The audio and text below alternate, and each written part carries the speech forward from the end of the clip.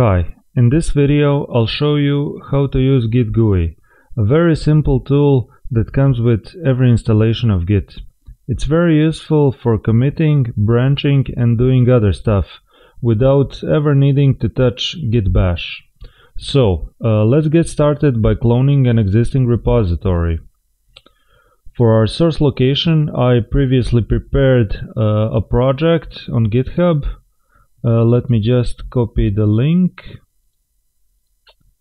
and paste it here. And for the target directory, I'll choose the D drive and the tutorial project folder and hit uh, clone. Let's wait for Git GUI to do all the work for us.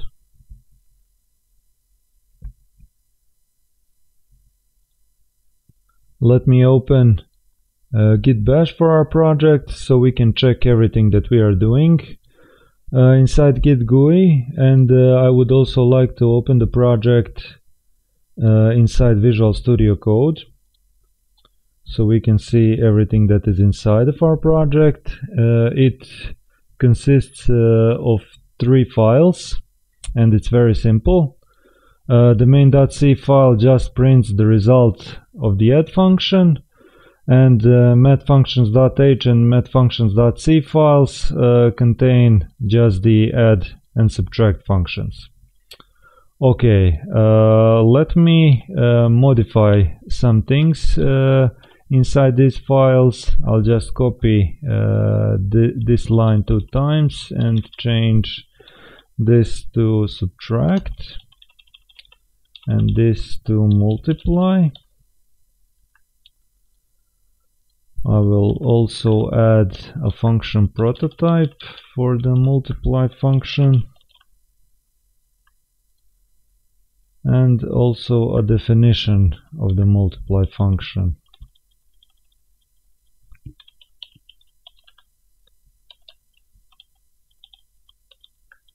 Uh, let's change this to the multiply sign. Okay, uh, let's go back to Git GUI and hit rescan. The Git GUI interface consists of four sections. The first section contains files that have unstaged changes. The second section has files uh, that contain stage changes. The third section uh, is just the diff of our files. And the fourth section uh, contains everything that is needed for making commits. Okay, uh, let's stage this line for commit. And let's select amend last commit and hit the commit button. So now our last commit uh, contains uh, the second printf line. As you can see, the plus sign is now gone. Okay, uh, let's add all the other uh, files uh, to the git index. Uh, this is done easily by just clicking Uh, on the icon next to the file names. Or you can just uh, press the stage changed button. Okay, uh, the new commit button is already selected uh, we can type something for our commit message, like for example, tutorial commit message. We can also sign off our commit and then just click uh, the button commit. Let's check that we've really made a commit. Let's go to git bash and type git log. As you can see, our commit message is right here. Let's see what Git GUI can do with branches. It can create, checkout, rename, delete and reset branches. So let's start by creating a new branch. For the branch name, I'll just type in master tutorial. Starting revision will be a local branch master and let's uncheck this checkout after creation option. Uh, hit the create button and let's check that we've actually created uh, the branch by typing git branch in git bash. As you can see, the master tutorial branch is right here. Let's go back and let's check out our Git GUI to our newly created branch. Uh, let's select the master tutorial branch and click on checkout. And as you can see, our current branch is now master tutorial.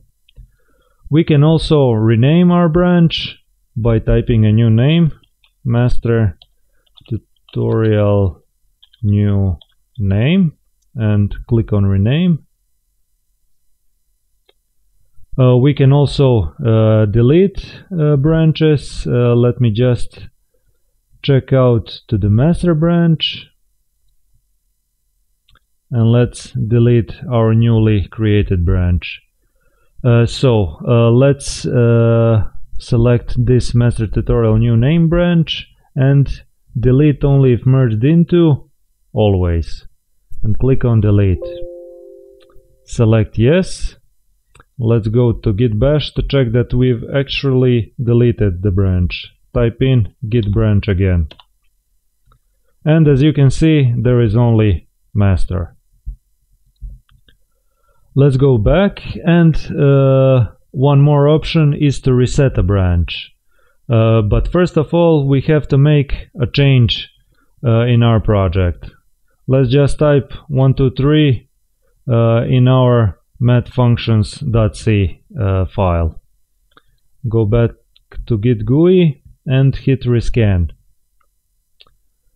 Uh, this is the diff and we've added uh, 123 to our file and we can now delete those changes that we've made by clicking reset and clicking yes. And now the changes are gone. Okay, next up is merging. Let's go to Git GUI uh, and let's create a new branch. Let's call it master merge. Hit create. We are now checked out at the master merge branch. Uh, let me uh, make a new function on that branch. I'll call it divide.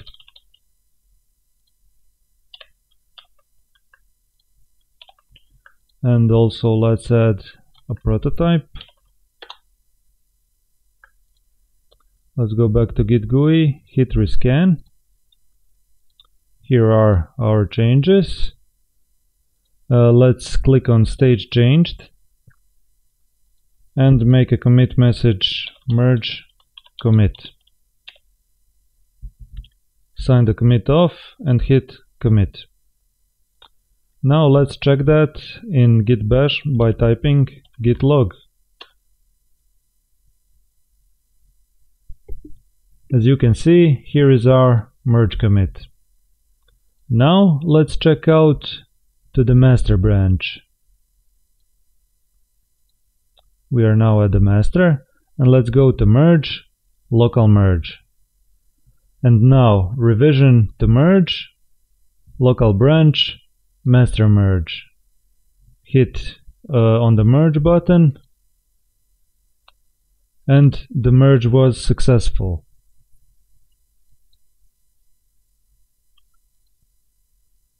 Let's go back to git bash and type git log again. As you can see, the master branch contains the merge commit. We can now safely uh, delete the master merge branch. Uh, delete only if merged into master delete. Check uh, in git bash by typing git branch and we now only have the master branch. Next part to cover are remotes.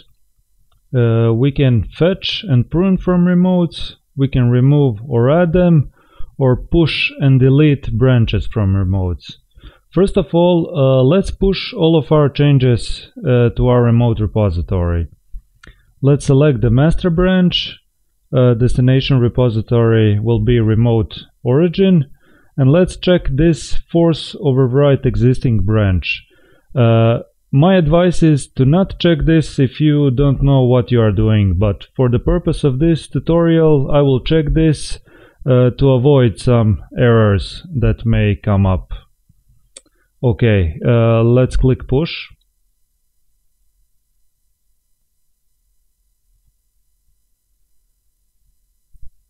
Okay, so it was successful. Uh, close this window and uh, uh, in our uh, remote repository we have three commits, but if I click refresh, there are now five.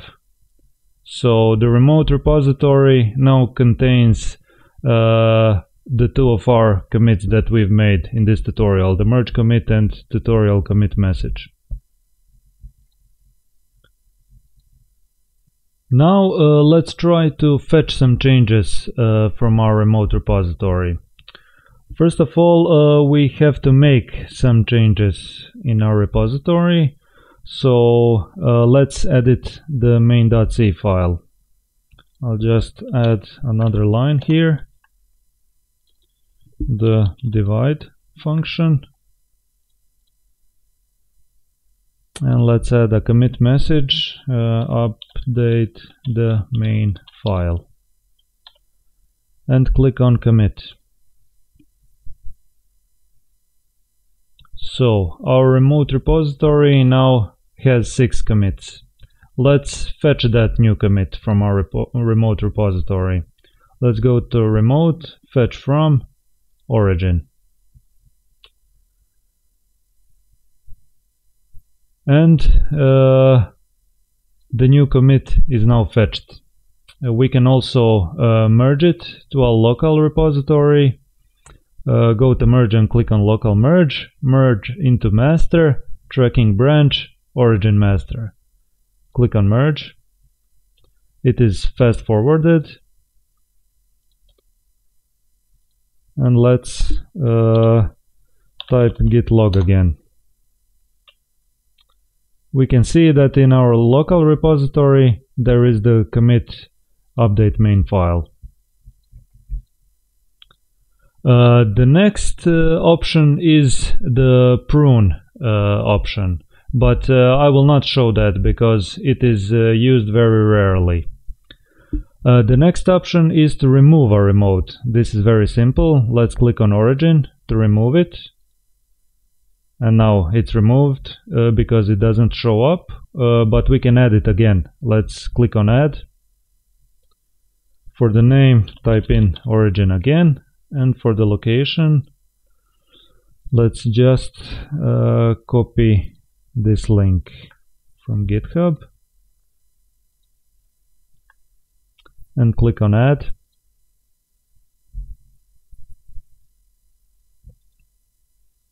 and now we have the remote repository origin again. We can also delete branches from our remote repository, uh, but uh, let's first uh, create a new branch so we can push it to the remote repository. Let's name it uh, master remote delete. Let's uncheck uh, checkout after creation and let's go to remote and push. Uh, select the master remote delete branch, uh, select the remote origin and uh, click on push.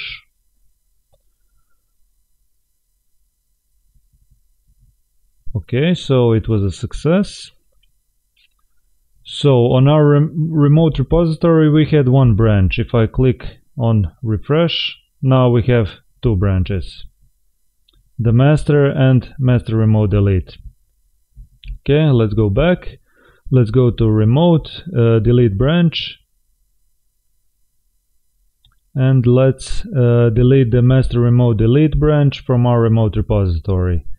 Uh, delete only if uh, always. Click on delete. Yes. Let's wait for a bit. It was a success. So the branch is now deleted from the remote repository. Click on refresh and now the only branch is master. The last thing to cover are the custom tools uh, that you can add uh, to Git GUI. So uh, let's uh, add a new custom tool, give it a name status. And for the command, uh, let's type git status. Click on add and let's run that status uh, custom command by going to tools and clicking on status. So uh, the status uh, command is uh, successfully executed and uh, we have the option to delete that custom command. Let's go to tools and remove, select status and click remove. It is gone from the tools uh, menu. Okay, so that's it for this video. I hope you found it useful.